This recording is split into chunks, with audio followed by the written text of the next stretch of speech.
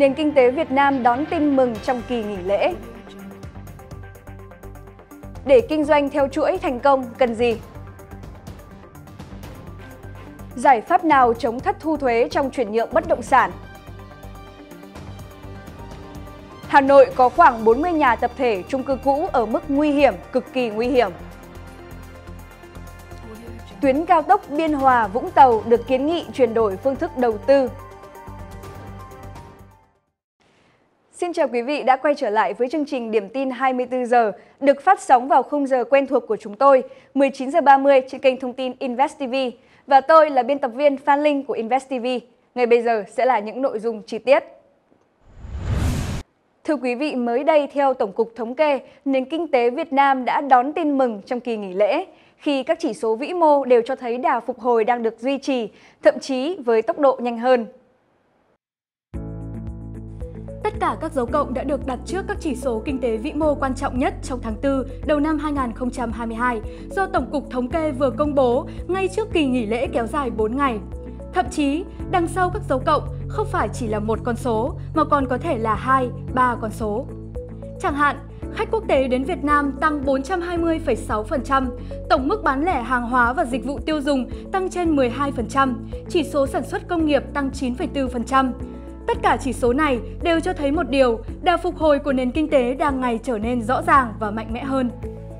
Trùng hợp với thời điểm Tổng cục Thống kê công bố số liệu kinh tế xã hội, Chính phủ họp phiên thường kỳ tháng 4 năm 2022 và thông tin từ Bộ trưởng, chủ nhiệm văn phòng Chính phủ Trần Văn Sơn, các thành viên Chính phủ đều thống nhất nhận định rằng tình hình kinh tế xã hội tiếp tục khởi sắc trên hầu hết các lĩnh vực.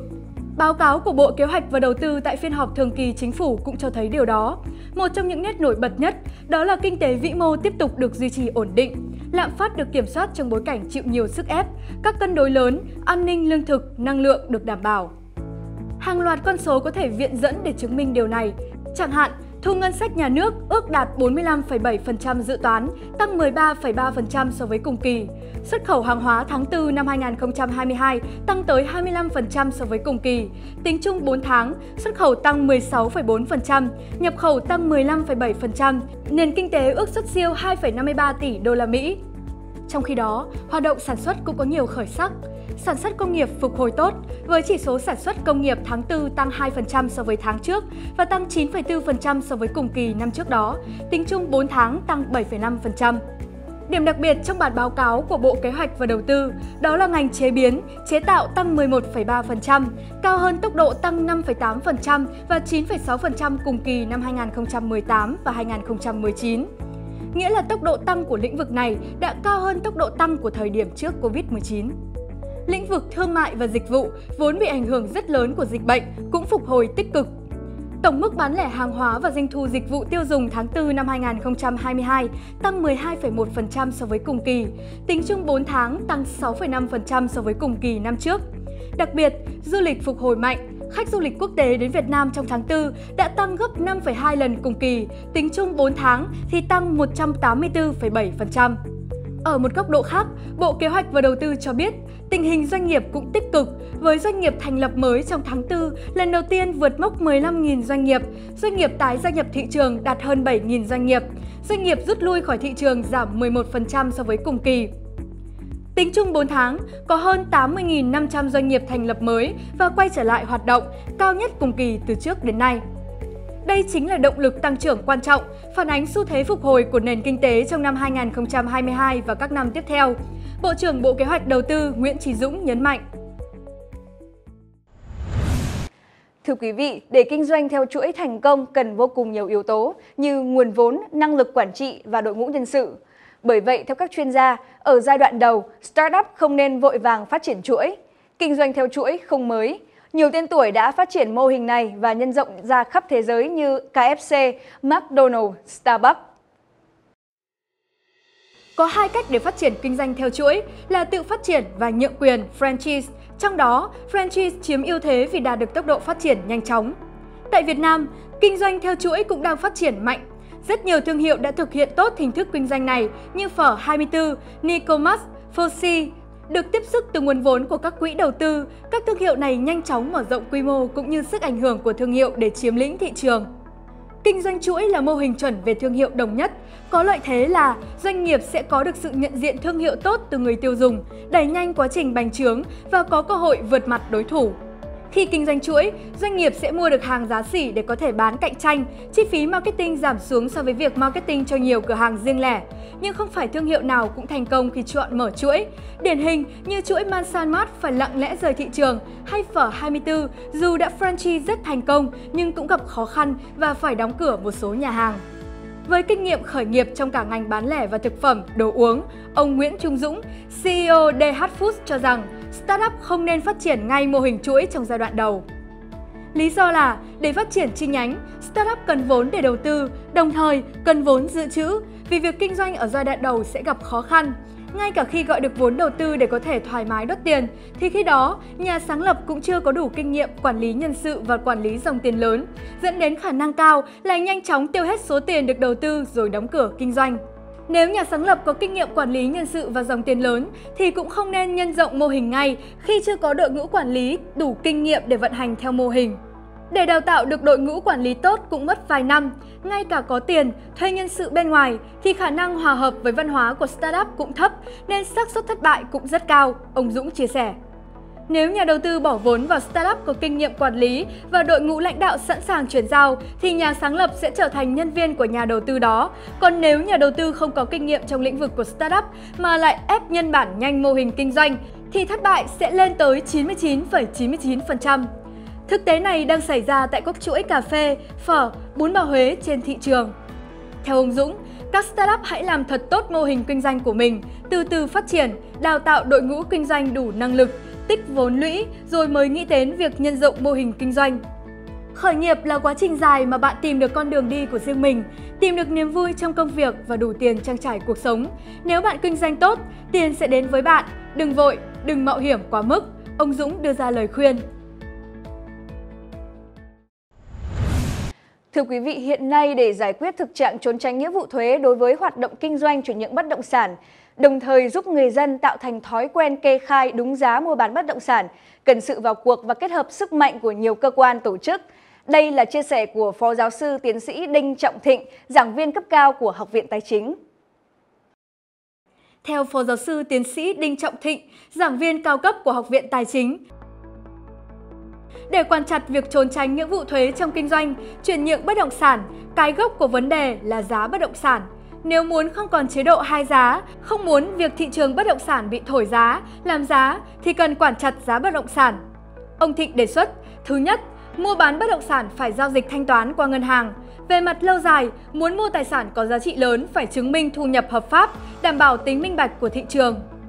Thứ hai, việc mua bán phải được ghi chép đầy đủ, áp dụng công nghệ số, thành lập kho dữ liệu như mua bán từng mảnh đất, ngày tháng rõ ràng thì việc tính thuế được chính xác và giá bán chính xác. Thứ ba, cơ quan công chứng phải thực hiện công chứng hợp đồng mua bán bất động sản chuẩn xác với giá thị trường. Nếu không, cơ quan thuế cần kiểm tra, yêu cầu công chứng lại hợp đồng theo đúng giá trị mua bán của thị trường. Cơ quan thuế có hệ thống tổ đội cán bộ thuế đến tận thôn, xóm, xã phường thì việc xác định giá đất ở đầu phố đến cuối phố để tính giá đất theo giá thị trường là hoàn toàn khả thi. Tiếp đến, phải công khai, minh bạch và ổn định lâu dài quy hoạch ở các địa phương nhằm tránh hiện tượng môi giới, cò đất làm giá, Thời giá thì giá đất khó có thể tăng vọt, tạo nên sóng giá, sốt giá ảo ở các địa phương. Trong luật, theo quy định của nhà nước, khung giá đất 5 năm sẽ được chính phủ thay đổi một lần và Ủy ban Nhân dân các tỉnh căn cứ vào khung giá đất được chính phủ ban hành để xác định các khung giá đất theo khu vực địa bàn, theo loại đất. Điều này làm cho khung giá đất không phù hợp với giá thị trường. Nhưng việc đánh thuế chuyển nhượng bất động sản trong mua bán đất, người mua bán được yêu cầu phải kê khai theo giá thị trường. Nếu giá thị trường thấp hơn khung giá nhà nước quy định thì lúc đó lấy khung giá của nhà nước. Biện pháp cuối cùng là dựa vào tổ dân phố, trong đó có các tổ chức quần chúng. Người dân tại khu vực này hay tổ dân phố nơi có phát sinh mua bán nhà đất hiểu rõ, nắm chắc các giá bất động sản nơi họ sinh sống. Cơ quan thuế dựa vào đó buộc người mua bán kê khai đúng giá mua bán trên thị trường. Từ đó, một thời gian sau tạo thành thói quen bắt buộc người dân kê khai đúng giá bán. Nếu chúng ta biết kết hợp nhiều tổ chức, nhiều sức mạnh thì dứt khoát sẽ kiểm soát được việc chống kê khai và mua bán bất động sản hai giá. Thưa quý vị, Ủy ban Nhân dân thành phố Hà Nội vừa có quyết định thành lập Hội đồng thẩm định đánh giá công tác kiểm định các chung cư cũ nhằm đẩy nhanh tiến độ cải tạo vốn bế tắc hàng chục năm nay trên địa bàn Hà Nội. Theo đó, Hội đồng chịu trách nhiệm trước Ủy ban nhân dân thành phố Hà Nội về kết quả thẩm định, đánh giá công tác kiểm định các chung cư cũ trên địa bàn, ra soát, đánh giá sự phù hợp kết quả kiểm định của các nhà chung cư cũ so với thực tế hiện trạng và quy định hiện hành. Tổng hợp của ngành chức năng Hà Nội cho thấy, trong tổng số 1.579 tòa chung cư cũ trên địa bàn thì có khoảng 40 nhà tập thể, chung cư cũ ở mức nguy hiểm, cực kỳ nguy hiểm như khu tập thể Thành Công, Ngọc Khánh, quận Ba Đình, khu tập thể Tân Mai, quận Hoàng Mai. Đây là những dãy nhà đã được báo động mất an toàn, nguy cơ đổ sập vào bất cứ lúc nào, nhưng đến nay, việc triển khai sửa chữa vẫn rất chậm chạp. Ông Nguyễn Quốc Tuyến, Phó Giám đốc Sở Quy hoạch Kiến trúc Hà Nội cho biết, Chúng tôi sẽ phối hợp chặt chẽ với Sở Xây dựng để đề xuất các cơ chế chính sách về cải tạo chung cư cũ trên địa bàn thành phố, ra soát bổ sung các quy hoạch chuyên ngành cho phù hợp với những điều kiện thực tiễn. Tại kỳ họp thứ hai, khóa 16 vừa qua, Hội đồng Nhân dân thành phố Hà Nội đã thông qua nghị quyết và đề án cải tạo, xây dựng lại chung cư cũ trên địa bàn thành phố. Đây được xem là cơ sở quan trọng để Hà Nội gỡ nút thắt vướng mắc. Theo đó, Ủy ban Nhân dân thành phố Hà Nội sẽ ban hành kế hoạch tổng ra soát, khảo soát, kiểm định chung cư cũ, Đồng thời, bố trí nguồn vốn ngân sách dự kiến khoảng 500 tỷ đồng kiểm định, ra soát thực trạng chung cư cũ, nhất là đối với chung cư cũ nguy hiểm có nguy cơ sụp đổ, chung cư hỏng nặng cấp độ C, D và cận D. Ông Nguyễn Hoàng Giáp, Phó Chủ tịch Ủy ban Nhân dân quận Đống Đa, Hà Nội cho biết, Việc cải tạo chung cư cũ hiện nay theo các quy định của pháp luật quy định rất chặt chẽ tình tự, trong đó mấu chốt là các chính sách phải được sự đồng thuận của người dân. Thưa quý vị, dự án đầu tư xây dựng tuyến cao tốc Biên Hòa Vũng Tàu dài 53,7 km vừa được kiến nghị chuyển đổi phương thức đầu tư PPP sang sử dụng vốn đầu tư công. Đây là một trong những nội dung quan trọng tại tờ trình số 154 TTCP vừa được Chính phủ trình Quốc hội về báo cáo nghiên cứu khả thi dự án đầu tư xây dựng tuyến cao tốc Biên Hòa Vũng Tàu giai đoạn 1.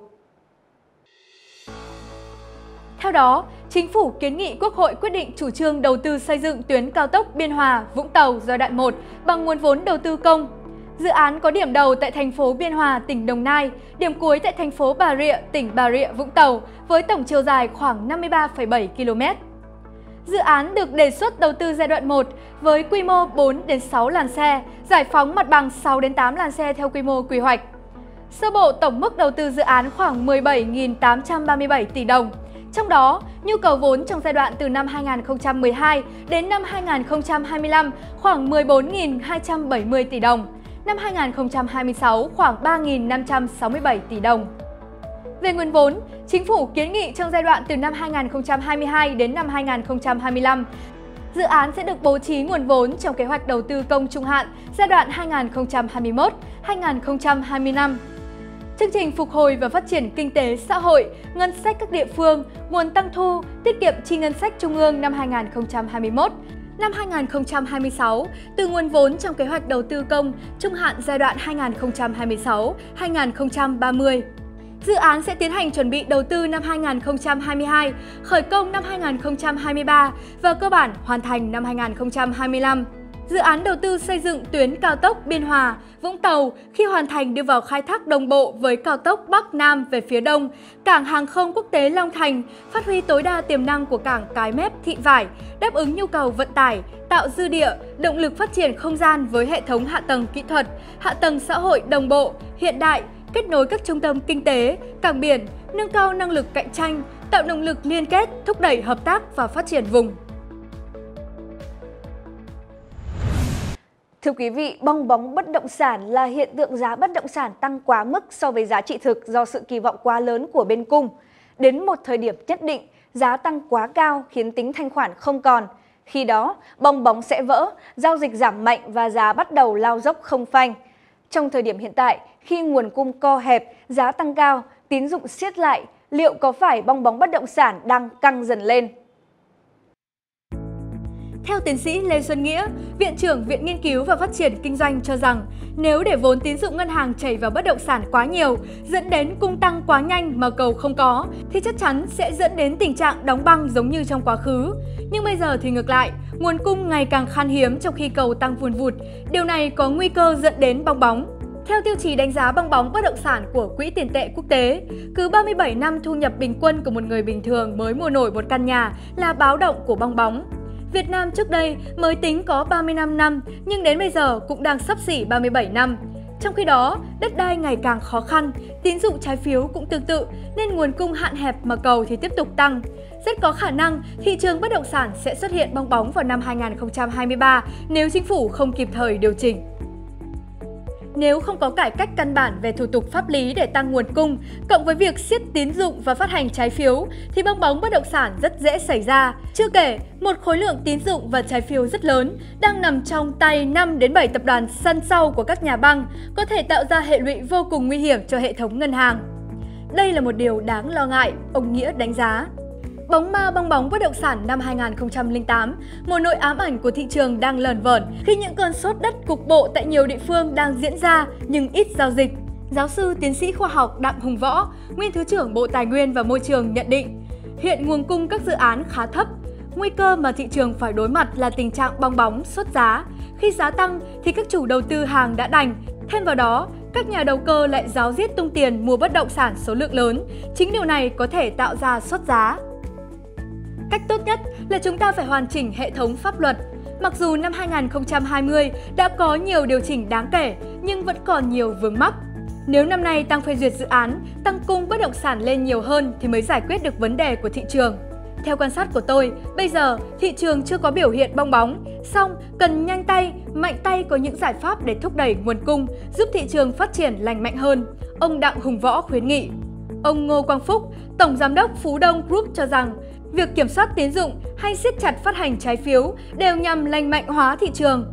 Tuy nhiên, không nên siết chặt đại trà, đánh đồng tất cả dự án. Các doanh nghiệp đều không được vay hay không cho phát hành trái phiếu, mà chỉ kiểm soát đối với các chủ đầu tư, các dự án không minh bạch, rủi ro hay chủ đầu tư có động cơ không tốt, sử dụng vốn không đúng mục đích. Thay vào đó, những dự án tốt, chủ đầu tư tốt vẫn được phát hành trái phiếu hay vay vốn bình thường. Đến đây thì thời lượng của chương trình Điểm tin 24 giờ cũng đã kết thúc. Cảm ơn sự quan tâm theo dõi của quý vị. Quý vị hãy đăng ký theo dõi kênh để có thể cập nhật những thông tin mới nhất về đầu tư, kinh tế và bất động sản. Nếu quý vị cần tư vấn về các vấn đề đầu tư hay thông tin thị trường, có thể liên hệ theo số hotline của chương trình là 08 2346 5555 hoặc địa chỉ mail là truyền hình invest.gmail.com. Bây giờ xin kính chào và hẹn gặp lại quý vị trong chương trình này ngày mai.